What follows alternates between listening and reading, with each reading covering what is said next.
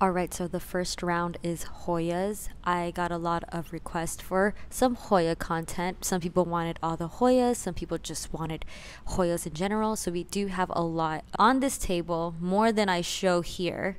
These are definitely one of my favorites. Hoya merrillii Longleaf, very sun-stressed, gorgeous. Another one of my faves is the Hoya latifolia, outer variegated kerrii, and the Incrassata. I got a request for Hoya carnosa. We have the small form and we also have them in a hanging basket.